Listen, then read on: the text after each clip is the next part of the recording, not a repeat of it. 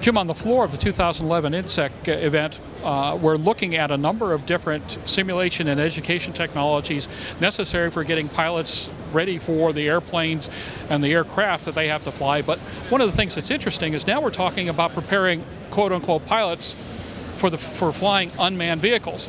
And one of the biggest monsters of all and one that's just been deployed is K-MAX. K-MAX is a monstrous rotorcraft with a phenomenal lifting capability. You got a job ahead of you on this one, don't you?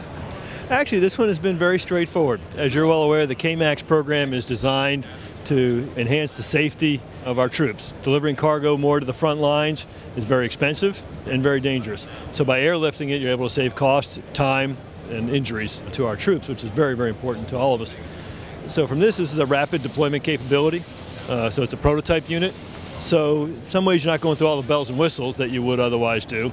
You're taking a hand select group of, of, of people that are going to both train and then deploy with that unit. And so a little bit more selective with that. And we're going, we're taking some experienced unmanned aircraft operators and we're bringing them into that community because of the nature of the program.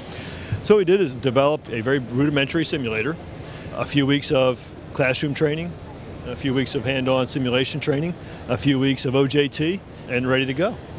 When you bring somebody in to take on uh, the command per se of an aircraft like this now remotely, you're able to pretty much dovetail the interface to what they're going to be using anyway. So you have that one area in particular, simplicity. But how do you start from some? What do you start with? How do you bring somebody through, and how do you qualify somebody for being able to do cargo drops in the middle of god awful Afghanistan? the key here is, is to be able to start with experienced unmanned aircraft operators so they understand the basics of how they want to operate. They certainly have the airmanship skills. So now you're teaching them the aircraft specific skills and going through there. Then now it's the CONOPS, like I said, and about half the curriculum is the CONOPS of how and when and where you're going to be able to deliver this cargo, what are the restrictions, and doing that. So that's something you work closely with the customer, and you do that well before you're ready to deliver the training. Again, these things lead up through the development of the aircraft, the proving of the aircraft itself, as you're developing those with the customer set to ensure that they're comfortable with the CONOPS. Again, we don't do this in, in a vacuum. We do this in concert with our customers. Partnerships is the, is the only way to succeed, especially when you're doing something in a rapid prototyping environment. What are you learning right now? What kind of feedback are you getting from the field? You've got two of these deployed at the moment? They're in the process of being deployed. They're in route right now.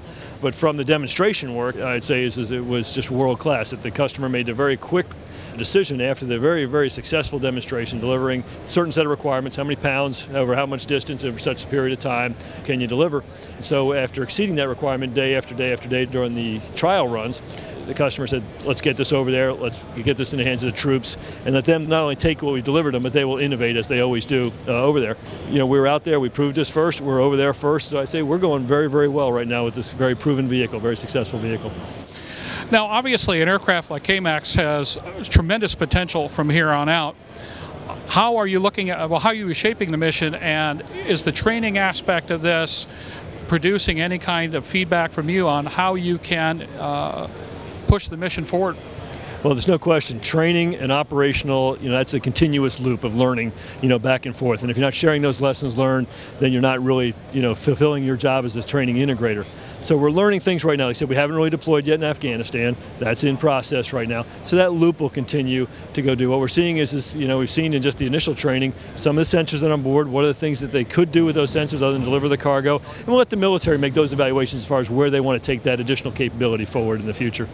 The amount of cost savings in this has just got to be absolutely phenomenal. Are you getting a feel at this point for just what this is really bringing to the field? Jim, to be candid, I don't have any data on that, and I would look to the Marine Corps to provide that kind of data. You highlighted one aspect of it, which is the manned versus the unmanned vehicle and the infrastructure that requires. The other real driver on this is the cost of where the IEDs are on the roads, the convoys, the amount of infrastructure it takes to deliver a pound of goods out towards our front lines. There's well three costs: cost of the airplanes, the cost of the convoy, and then of course the reduced threat of the IEDs because you're flying over them instead of having to drive through them. And those are the real savings and the benefits of this program. Well, it's an amazing concept. We're certainly looking forward to getting more information as this mission develops, and especially once it builds some operational experience. I hope we'll have a chance to get back to you then and uh, talk to you a little bit about what you've learned and how that is being detailed into the training protocols you're developing for this machine. Look forward to that. Again, looking forward to success and supporting our troops in Afghanistan. Thank you, sir.